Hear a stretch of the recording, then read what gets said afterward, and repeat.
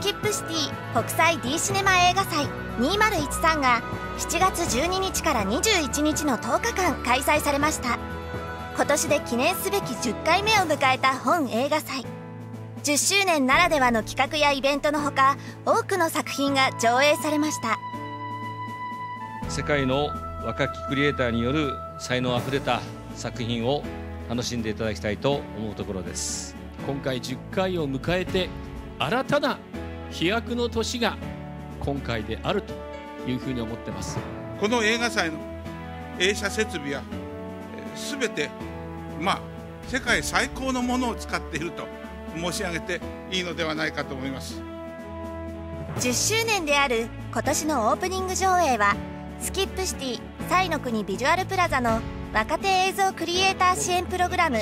DMAP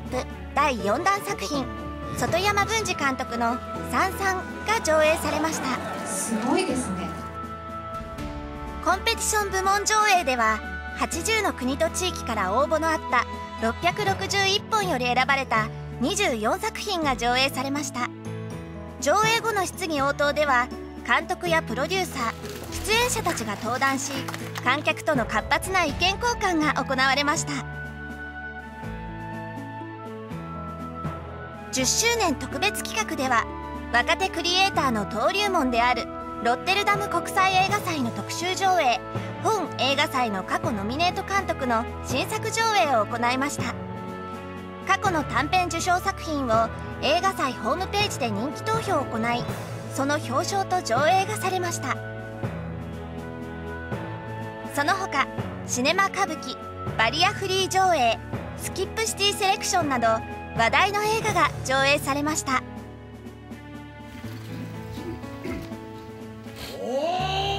関連企画イベントも3つ行われました「ゴーオール埼玉家族」上映トークイベントでは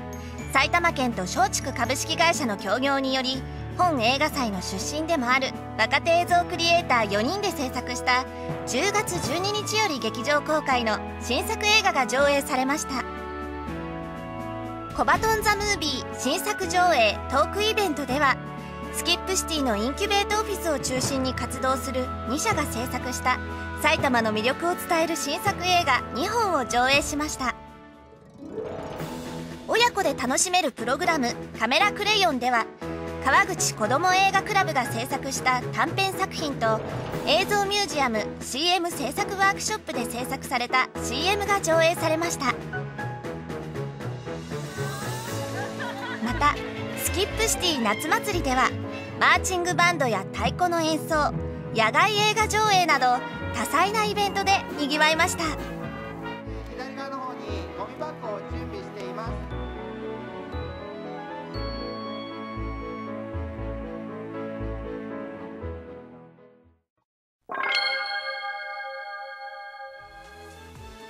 映画祭最終日各賞の発表が行われノミネート作品の中から計8作品が表彰されました。短編部門奨励賞には「日の差す方へともはやないもの」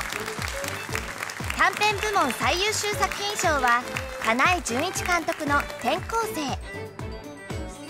スキップシティの映像制作支援施設を一定期間利用できるスキップシティアワードは「ロマンスロード」